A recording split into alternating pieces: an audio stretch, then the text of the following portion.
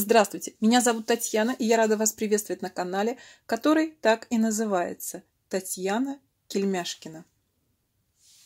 Я вижу детскую кофточку, пришла пора пришивать пуговки, и мне э, захотелось показать, а как это делаю я, вдруг кому-то станет полезным. Конечно, наверное, было бы грамотнее, с одной стороны, этот кусочек поместить в ролик о готовой работе, когда буду показывать готовую кофточку. Но иногда нужны, э, на мой взгляд, ролики узкотематические. Когда задается вопрос, сбросить ссылку на этот ролик очень просто. У меня уже есть одно видео, как я пришиваю пуговицы, когда я вязала кардиган сыну, по-моему, если не ошибаюсь. Но приходят новые зрители, тем более сейчас я вяжу эту кофточку. Раз уж начала я ее показывать по частям, тоже оставлю ссылки на видео, где мы вязали росток. Э, это прям было видео по запросу. Также оставлю ссылку на видео, где мы вязали подрез, э, где мы вязали треугольничек э, от подреза. И вот настала пора, это еще не финал, После пуговиц я постираю, высушу. И как на холсте что-то буду на кофточке писать, так сказать, картины маслом. Не знаю, что это будет. Может, какой-то один штрих. Как пойдет, как муза зашепчет. И вот пришиваю пуговки. Я хочу показать, как я это делаю. Вдруг кому-то будет интересно. На всякий случай, для тех, кто этот ролик смотрит, а другие не смотрел. Сама кофточка связана с пряжей Alize Lana Cotton. Пряжа грубоватая. Конечно, можно взять любую другую пряжу. Я все-таки склоняюсь на то, что вязать пледы из нее очень хорошо. Кофточку вяжу впервые. Возможно, так как кофточка все-таки не на голое тельце одевается, будет неплохо. Тем более пряжа бюджетная. Ребенок очень быстро растет. Может быть, есть смысл вязать из такой пряжи. А вот джемпер, который именно без поддевочки, я бы, наверное, больше не вязала. Один есть у меня джемпер. Желтая обвязка тоже из пряжи Alize Lana Cotton. А вот эта обвязочка на рукавах зеленоватая, почему-то она так темно берется. Это из пряжи. Хотелось мне сочетать именно эти три цвета, поэтому я взяла Yarn Art Silky Wool может быть, другим над оттенком зеленого. Ну, у меня была вот такая пряжа, и я ей и, значит, обвязала рукава. Итак, серый, желтый, зеленый пока играют э, именно эти три цвета. Пришивать пуговицы я решила именно этой ниточкой. Если бы вдруг у меня зеленая была бы Ализелана Катон, и мне нужно было пришивать пуговицы этой же ниткой, я бы, наверное, попробовала попробовала расщепить эту ниточку на более мелкие и пришивать не такой толстый, да, а вот составляющими. Вот здесь вот вполне реально. У Ализы Лана Катон это сделать вполне реально. Конечно, можно взять обычную швейную ниточку, но чтобы уж было цвет в цвет, можно вот такие расщепулечки. Здесь еще несколько ниток. То есть твори не хочу. Как вариант. Вот, пожалуйста прекрасная штука для того, чтобы пришить пуговицу.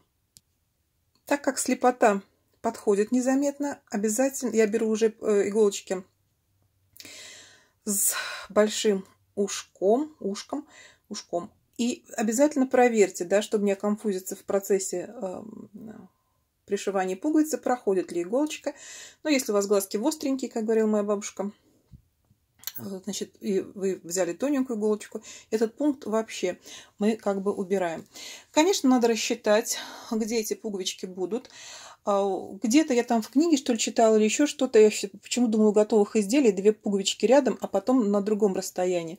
А, потому что одна пуговица как бы на планочку. Приходится, вот у нас планочка на верхнюю горловинку. И вот горловинку якобы фиксирует одна пуговичка. Это не обязательно, это я просто объясняю. А потом уже под ней пошли те пуговицы.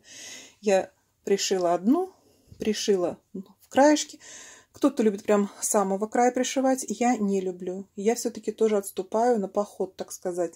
Но очень многие рукодельницы пришивают прям в самом низу. Это как кому угодно. Потом я эту пуговицу во внимание не беру, да, складываю пополам. Вот она центральненькая пуговица у нас. Потом складываю вот так Вот она пуговица. И вот сейчас сложу пополам и пришивать здесь. Это опять же мне лентяки, а, если не хочется считать здесь же можно спокойненько по резиночкам, да, просчитать. Но у меня какой-то, у меня на все какой-то свой старый дедовский метод. Мне очень нравится, когда с изнаночной стороны нет узелков.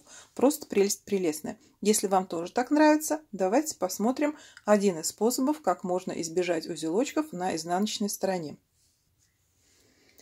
Нам надо сложить ниточку вдвое.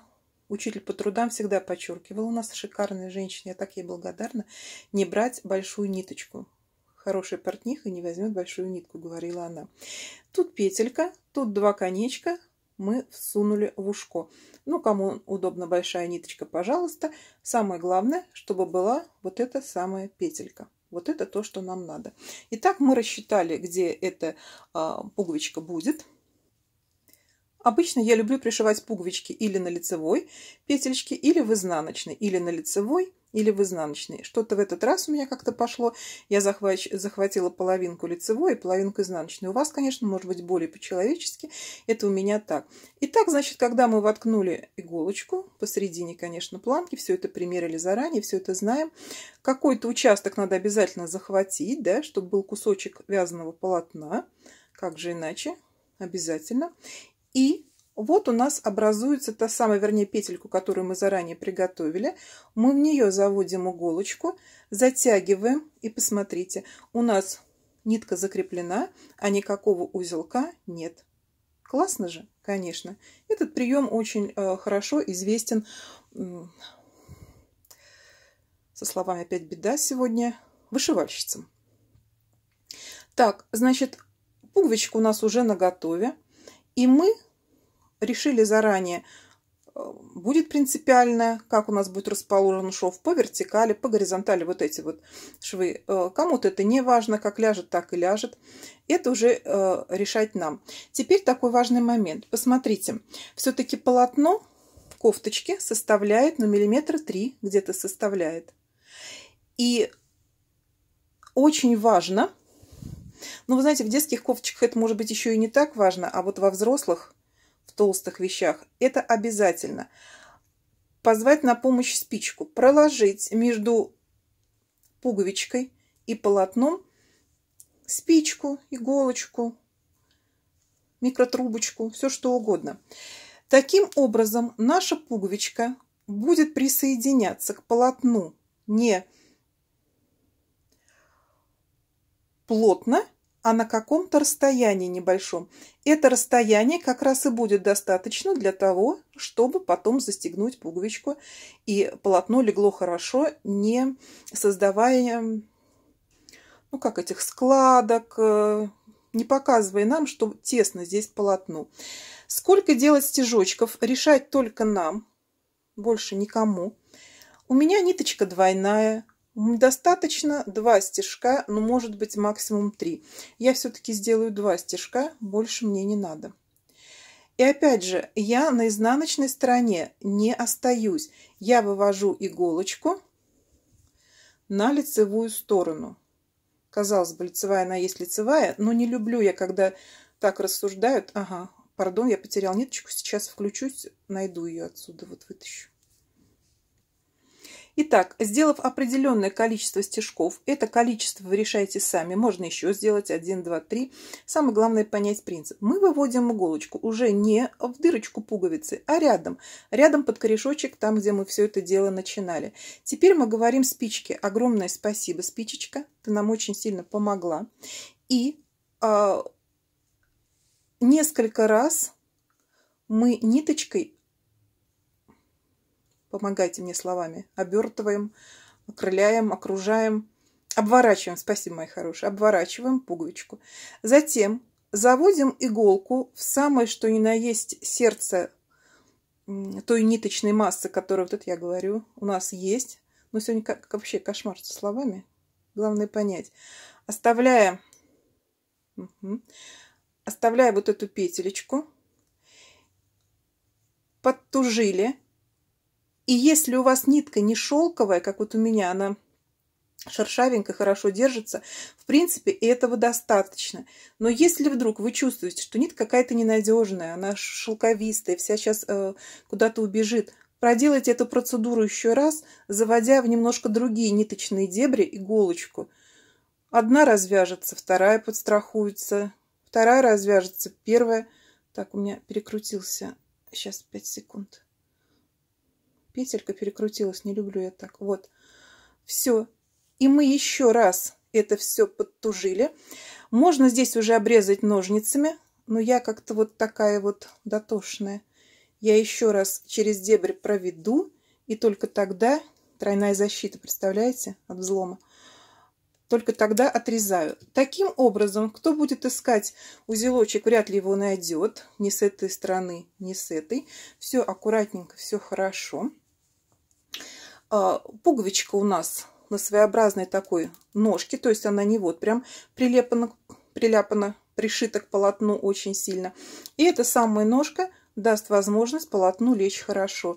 Все поправляем, потому что рисуночек у меня такой вертикальный, он мог куда-то немножко уйти, убежать в процессе э, пришивания пуговки. Мы все подправили, посмотрели на свою работу, похвалили себя, сказали, что мы молодцы. Ну вот и все пуговицы пришиты. Сейчас я постираю данную кофточку, высушу, и потом сотворю на ней что-то такое или эдакое, я не знаю. Обязательно покажу готовую работу, будет интерес, смотрите. Очень буду рада, если кому-то это видео оказалось полезным. До новых встреч, мой добрый зритель. Они обязательно будут.